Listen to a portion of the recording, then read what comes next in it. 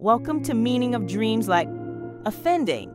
Dreaming of offending someone can signify feelings of guilt or unease about your actions or words in waking life.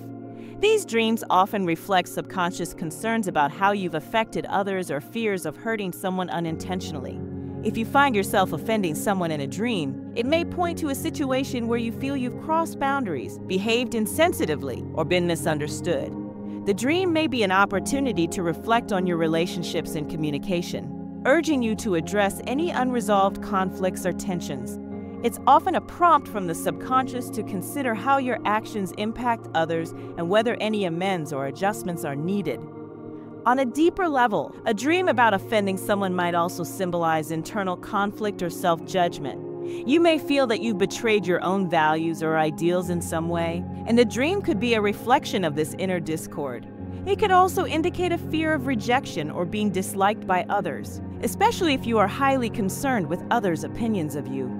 In this sense, the dream may be exploring your anxieties about social acceptance and your own identity, encouraging self reflection and growth, when you dream of offending someone, whether it is verbal or physical, it represents repressed anger or immature emotions. Dreaming about committing an offense that is against the law, it suggests you are unaware of breaking your moral barriers that you abide by in your life. Thanks for tuning in. Ready to dive even deeper into the mysteries of your dreams? Don't miss the index in the description, your guide to unlocking the hidden meanings behind your nocturnal journeys. Stay curious and see you in the next video for more dream discoveries.